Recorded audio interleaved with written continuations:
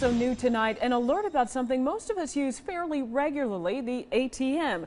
Well, a Metro Atlanta woman who used one recently discovered a skimmer attached to the card reader. The devices can give identity thieves access to your bank account, but the night team's Dante Renzulli wanted to show you exactly how they work. Tonight, he demonstrates how to spot one of these skimmers in action. Just like this, an identity thief can attach a card skimmer to an ATM and steal the bank account information of every person who visits afterward. It's happening a lot more often than people are catching it. Some might be worried they'll break a real card slot if they check for a skimmer too roughly. But police say that would be hard to do. You certainly don't want to use like a tire iron, but you can go up and just pull on it. Coweta County Lieutenant Jason Fetner is investigating a recent case where a woman found a skimmer at this ATM on Highway 34 between Newnan and Peachtree City. Fettner suggests everybody should do their own check before using a machine like this one.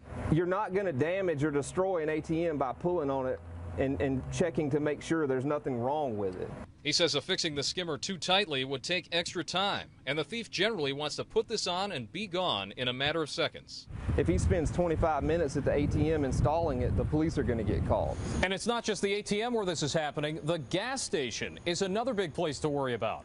Now, police say that this should be part of every gas pumping routine before you put your card in this slot Give a good yank on the area immediately around it. You should be able to pull it off with just your hand alone, no tools necessary. But if you're still not sure, take a good look at the area all around the keypad to make sure there's no little cameras pointing at it.